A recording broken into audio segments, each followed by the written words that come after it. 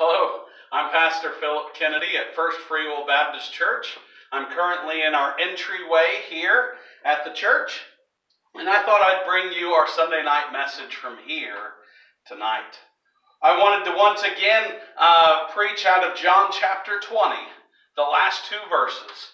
John chapter 20, verses 30 through 31. It says in John chapter 20, verses 30 through 31, and many other signs truly did Jesus in the presence of his disciples, which are not written in this book. But these are written that ye might believe that Jesus is the Christ, the Son of God, and that believing ye might have life through his name. You know, John, the author of this book, this gospel, uh, and, and also a disciple of Jesus Christ, walked with Jesus for three years.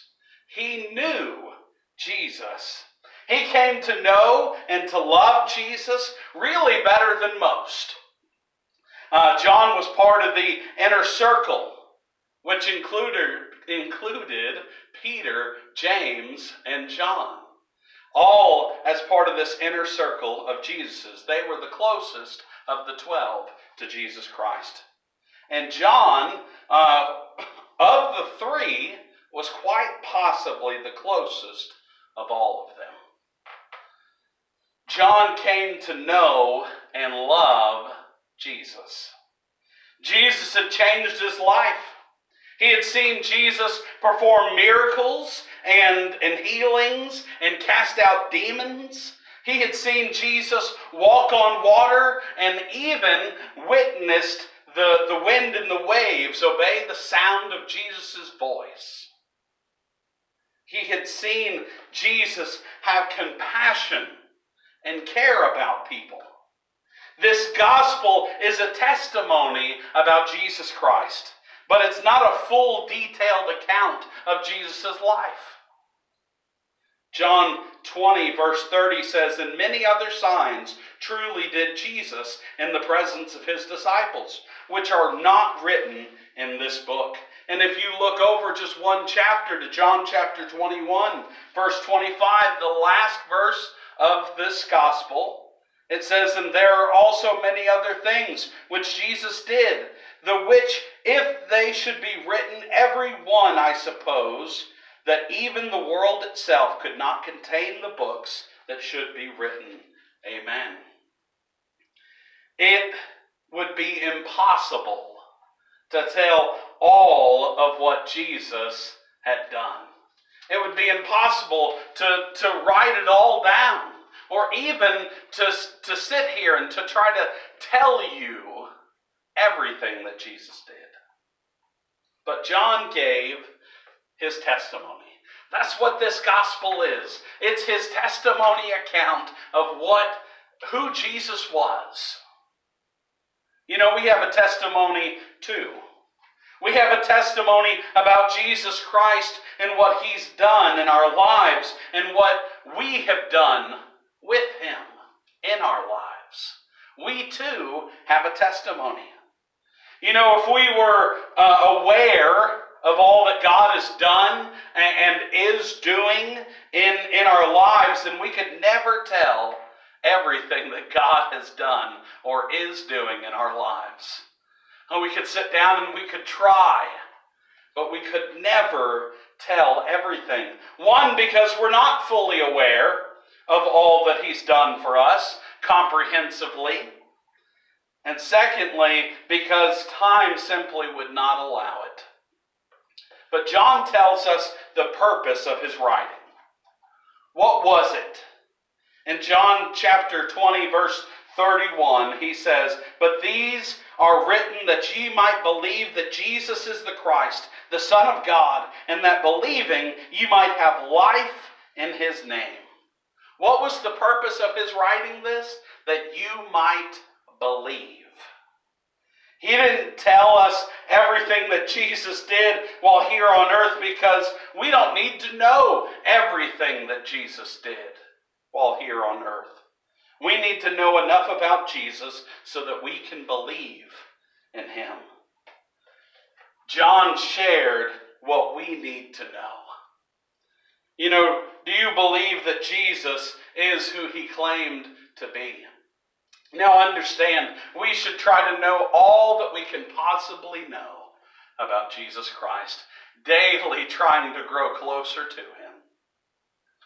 But the point of John's writing this gospel is yes, so we could grow close and know him, but so that we could come to know him. Do you believe that Jesus is who he claimed to be? Jesus claimed to be the Christ, the Messiah, the promised one to come. He also claimed to be the Son of God. He taught with authority, he performed miracles, and he never did anything wrong. He was blessed by God the Father in all that he did. He was crucified. He was dead.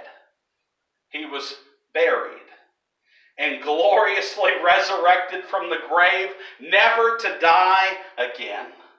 He ascended to heaven and is seated at the right hand of the Father even now. And one day, one day, he will come again. Do you believe this? That is the gospel message. Do you believe this?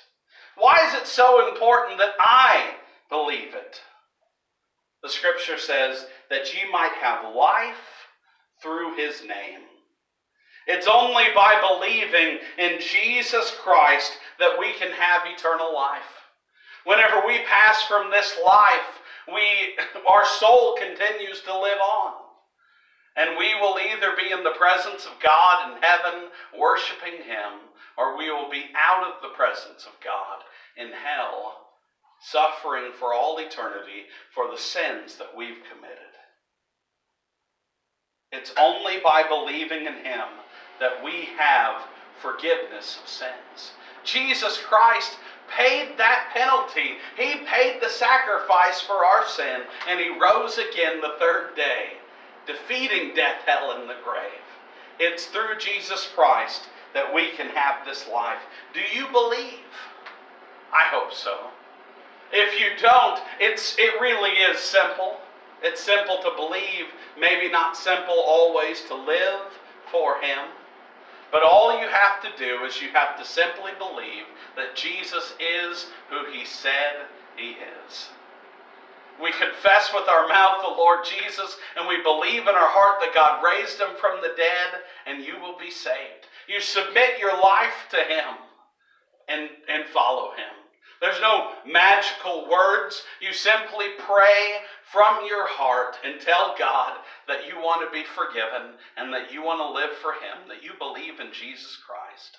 You could say a prayer something like this Father God, forgive me of my sins. I'm sorry for all that I've done wrong.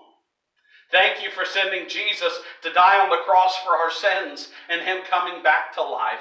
I believe Jesus is your Son. Forgive me. I want to live for you. I want to make Jesus Lord of my life. Amen. If we just tell God that, that we want forgiveness, if we just talk to Him, the Bible says He's faithful and just to forgive us of our sins and to cleanse us from all unrighteousness. So if you've not believed, I hope that you will believe and that you will say a prayer. But, but what about the rest of us who, who do believe already? What does this message have to do with us? I believe that this message is a challenge to us. We need to be challenged by this scripture uh, to give our testimony to others. This gospel is John's testimony so that people might believe in Jesus Christ. God gave us a mission to tell people about Jesus Christ.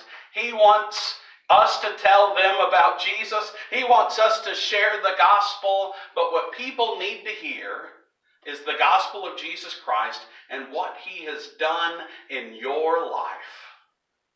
Are you sharing with others what Jesus has done in your life? How he has changed your life? I challenge you to please use your testimony Tell people about what God is doing in your life, what He has done, and what you believe He will do. Share that with somebody this week and, and give your testimony just like John did. God desires to use us to get the gospel out. Let's be obedient servants of His. God bless you, and we'll see you next time.